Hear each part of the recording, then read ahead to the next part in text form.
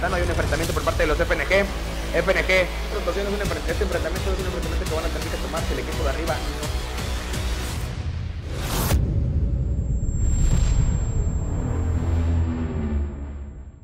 Antes de comenzar el video quiero dar este anuncio importante. El video que acabas de ver hace unos segundos es el anuncio de la primera liga oficial de toda Latinoamérica de torneos de consola. Sí, así como lo escuchas, es una liga que está auspiciada por un clan eh, de Latinoamérica y que también yo voy a estar participando en este proyecto como caster eh, de este mismo evento.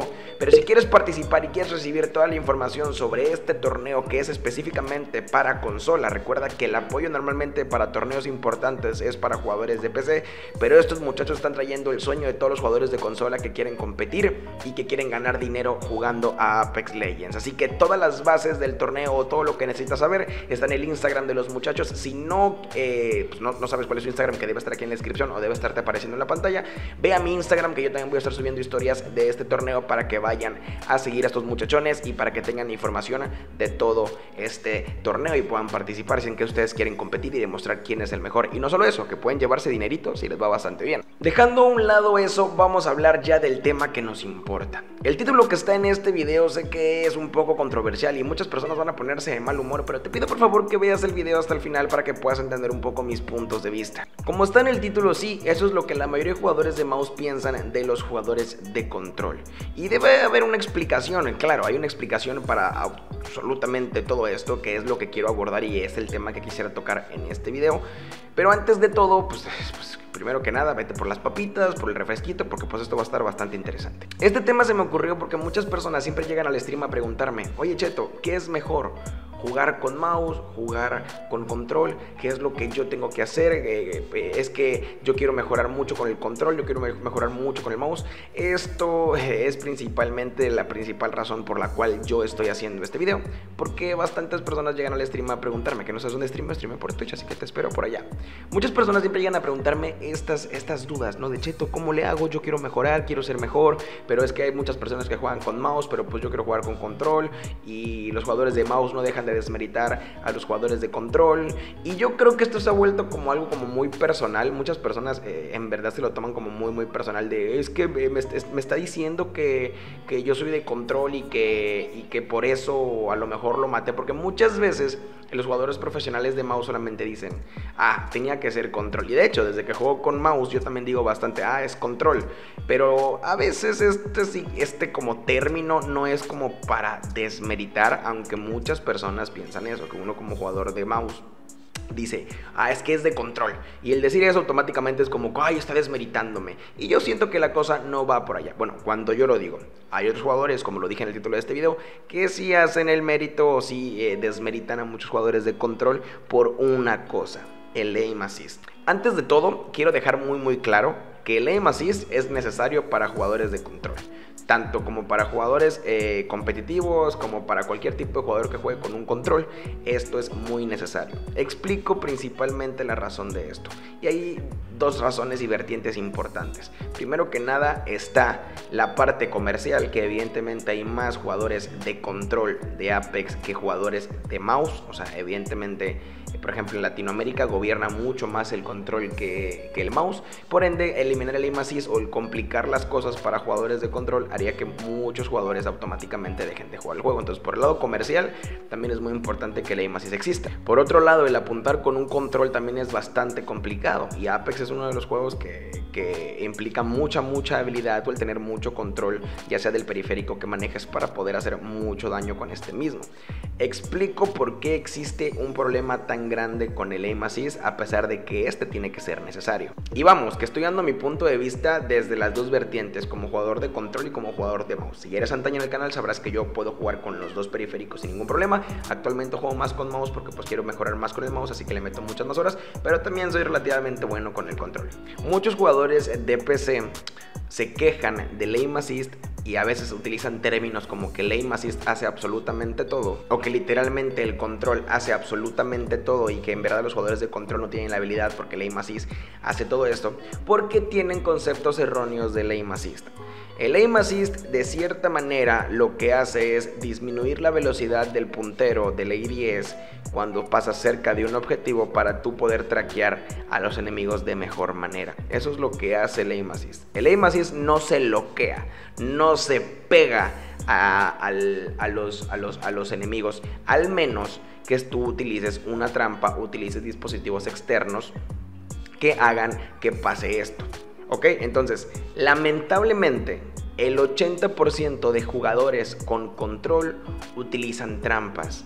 Lamentablemente son trampas que no pueden ser detectadas por el software de Apex Legends porque son un hardware, o sea, un dispositivo, un componente físico como Cronus, como Strike Packs, que de hecho ya tengo un video explicando todos los hacks. Voy a tratar de colocarlo por aquí para que puedan entender un poquito más del tema. Entonces, muchos jugadores de teclado que no tienen eh, como uso de razón o que no tienen mucho conocimiento en el control, piensan que cuando uno tiene este tipo de ayudas o cuando la mira se fija directamente como si fuera un aimbot hacia un objetivo, piensan que así es como funciona el aim assist. Y no, eso no es aim assist. Eso es una trampa, es como tener un aimbot literalmente que es irreconocible, porque en estos aparatos la gente puede colocar y aumentar el aim eh, de manera brutal y hacer muchas cosas, ¿no? Entonces, por ahí partimos de principal, eh, de, la, de, una de las principales razones por la cual las personas creen que pues el control tiene pues trampas, porque al final de cuentas no es el funcionamiento principal del control. Pero bueno, también sabemos que no todos los jugadores de control utilizan trampas. Existimos jugadores que no utilizamos trampas y que, jugamos y le metemos muchas horas para poder mejorar eh, con este periférico. Pero esto es como el cuento de la oveja y el lobo. Si hay dos, tres personas que juegan a un buen nivel y lo utilizan, evidentemente todas las personas eh, van a creer que, que todos los jugadores de control los utilizan. Principalmente porque, porque estos dispositivos, por ejemplo, en Estados Unidos, se venden como agua. O sea, se venden como agua, las, tú las encuentras en cualquier tienda de videojuegos eh, y, y te lo venden súper, súper barato. Entonces, y esto hace que sea muy fácil de conseguir y al mismo tiempo muy fácil de poder hacer trampa. Esa es una de las principales razones por la cual los jugadores de PC de cierta forma odian a los de mando, porque no entienden principalmente cómo funciona el aim assist. Ahora, yo como jugador de mouse les digo algo, yo también cuando juego con mouse odio a los de mando. Y ahora les voy a explicar. Yo sí entiendo el comportamiento del aim assist, yo sí entiendo cuando una persona me mata porque lleva mierda y también entiendo cuando una persona me mata porque es muy bueno o porque en verdad le ha metido bastantes horas al juego. Pero por ¿Por qué me enojo? Me enojo por lo siguiente. Yo llevaba sin jugar creo como cuatro meses control y me puse a jugar unos 1v1s con un amigo que es bastante bueno, es rango Predator, es top mexicano, top latinoamericano de Apex con control. Y agarré el control y jugando 1v1s podía yo ganarle 1v1s a una persona que es top Predator después de no haber jugado yo como en cinco meses control. ¿ok?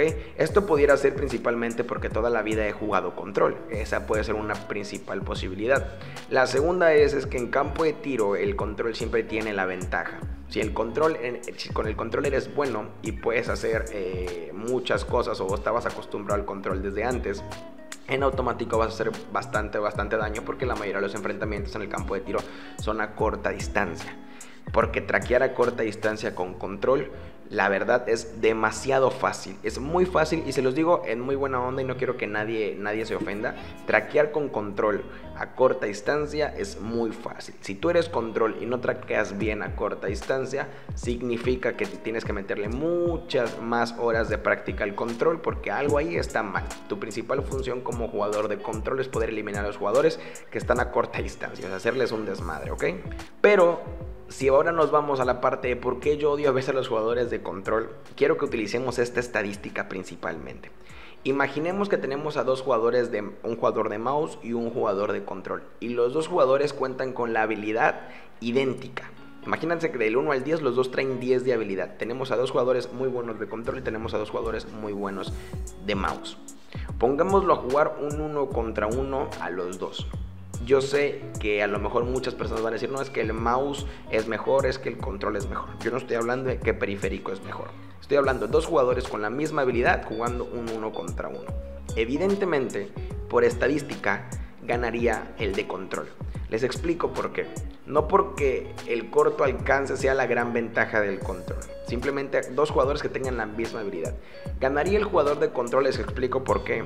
Porque principalmente al estar en la misma habilidad y el control sin tener la ayuda de apuntado, obviamente esta ayuda de apuntado sin ningún tipo de hack, el control al tener la ayuda de apuntado ya es superior al mouse y teclado. Y esta es por la cual muchos, muchos, muchos jugadores profesionales de Apex se quejan. Porque es, juegas con control, yo juego con mouse. Y si, somos, si tenemos la misma habilidad los dos disparando, apuntando, moviéndonos, desplazándonos, rotando, pensando, todo lo que tú quieras o que complementen el juego, al final de cuentas, en un enfrentamiento cara a cara, ganará el control porque tiene este aim assist. Tomando en cuenta que los dos jugadores son completamente iguales. Entonces, muchos jugadores de mouse se quejan por esta razón, porque ya a un nivel competitivo alto, el que tengas esa ayuda de apuntado sí hace una gran diferencia. Para jugadores normalitos, para jugadores que, que, están aprendiendo a jugar, para jugadores que son un poquito más casuales, no hace una gran diferencia tener un control. Pero para un jugador experimentado, sí hace una diferencia el poder tener un control. Ojo, que no estoy diciendo que usar control es fácil. Usar control es muy complicado. El, intentar copiar mecánicas de mouse con un control, con muchos menos botones, con mucha menos, mucha menos libertad, es complicado también. Tiene su mérito para la gente que juega con control. Pero tomando en caso la misma estadística que hicimos hace rato, ahora pongamos a dos jugadores extremadamente malos jugando al Apex Legends eh, uno con mouse y uno con control, ¿ustedes quién creen que ganarían uno contra uno? También ganaría el jugador de control, porque al ser de la misma habilidad y al apuntar eh, de la misma forma, o sea, tener el mismo aim, al final de cuentas, el que va eh, a tener un poco más de ventaja va a ser el que tiene la ayuda de apuntado. Porque al ser de la misma habilidad los dos, lo que hace la diferencia es esta pequeña ayuda de apuntado. Como repetí y como dije al inicio del video, la ayuda apuntado para jugadores de control es necesaria. El problema también es el uso de tantos aparatos externos para poder eh, literalmente hackear el control y poder tener supuestamente más ventajas o habilidades sobre otros jugadores porque al final de cuentas son trampas. Eso también está mal. Otro punto importante por lo cual los jugadores de mouse se enojan contra los jugadores de control es porque las horas que tienes que invertirle al control en entrenamiento son menos para traquear a corta distancia que para traquear a mediana distancia. A lo mejor ustedes verán eh, partidas de jugadores muy buenos y dirán, uy, cómo traquea, es buenísimo. No, no hagamos o no pongamos de ejemplo a esos jugadores. Hagámoslo un poco más normal. Yo como jugador de control y como jugador de mouse, sinceramente tuve que practicar mucho menos tiempo para poder mejorar mis enfrentamientos a corta distancia con control, porque la verdad agarro un control y meto líneas de 150, 180 súper duras después sin, jugar control. O sea, hace mucho que ya no juego control y todavía sigo metiendo esos daños muy, muy abismales. Para poder hacerlo con un mouse, literalmente, o sea, para poder meter una línea de 100 constante a jugadores, o sea, llevo 4 o 5 meses jugando y todavía no puedo meter líneas constantes. A lo mejor al primero le meto 150, 170, pero al segundo ya no le meto absolutamente nada de daño. O sea, son cosas bastante locas, bastante eh, eh, tremendas y que muchos jugadores de PC se quejan por esto, porque el tiempo que tienes eh, que practicar el control para dominarlo es mucho menor que el tiempo que tienes que para practicar el mouse y dominarlo. Ok, cada quien es libre en Apex Legends de utilizar su periférico. Y por alguna razón los jugadores de mouse no se cambian al control y por alguna razón los jugadores de control no se cambian al mouse. Yo sí me cambié porque tengo unos huevotes, pero eh, obviamente todos sabemos que cada periférico tiene sus ventajas y sus desventajas. Si me preguntan a mí qué periférico es mejor, sinceramente eh, yo considero que el crecimiento con un periférico legal, el crecimiento que puedes tener con, mouse es mucho mayor al crecimiento que puedes tener con un control. Considero que el control te limita hasta ciertos espacios, hasta ciertos puntos. Les explico yo. Cuando yo jugaba control, no es cierto que jugaba muchas menos públicas, pero la verdad es que sacar 4000, 5000 de daño me costaba un poquito porque yo nada más era jugador de ranks. Pero desde que estoy jugando mouse, sacar partidas con mucho daño se me hace mucho más fácil. Eso no significa que el periférico sea mucho más fácil. De hecho, para mí el mouse, el, mouse a mí se me complica bastante todavía, a pesar de que llevo bastante tiempo y de que le meto bastantes horas al, al Kovacs y a programas de, de apuntado, porque yo toda mi vida he jugado control. Eso también no significa que para otras personas el mouse se les haga completamente fácil a lo mejor digan que el, mouse es muy fácil y el control es difícil. Digo, yo les doy todo esto de acuerdo a mi perspectiva y el punto principal es aquí hablar de por qué los jugadores de mouse se quejan tanto de los jugadores de control.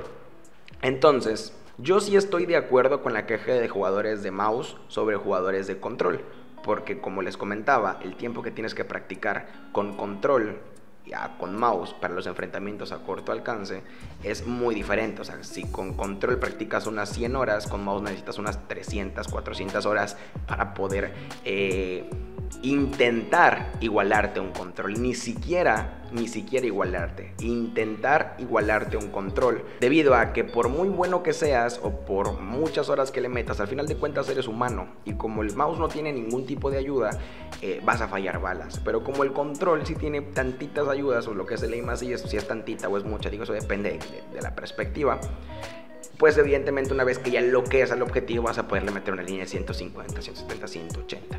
Entonces, en cuanto a las quejas, yo considero que son acertadas, que sí es un dolor de huevos matar a alguien de control cuando tú eres mouse o que un jugador de control te mate cuando tú eres mouse, es un dolor de huevos increíble. Pero también considero que no se puede decir que los jugadores de control no tienen habilidad o que los jugadores de control son... Eh, menos capaces, ¿no? Yo considero que hay un más crecimiento jugando con mouse, pero sí considero que el jugar con control implica una dificultad increíble también, así como eh, jugar con mouse también implica una dificultad increíble, porque el argumento de muchas personas de controles es que el mouse tiene todo el brazo para poder apuntar. Claro, en eso estás en todo lo cierto, todo el brazo sirve para poder apuntar o para controlar el recoil, pero recuerda que no es lo mismo controlar el recoil a tener puntería para matar a alguien. Digo, el control de recoil es muy fácil para mí y lo he enseñado en streams. Puedo controlarte el recoil con un mouse y con un control sin ningún problema. Eh, pero ya el apuntarle a un objetivo es completamente diferente. Yo considero que las quejas son justificadas, pero también considero que el jugar con control implica dedicarle también bastantes horas y bastante tiempo para poder ser bueno. Déjame tu opinión aquí abajo.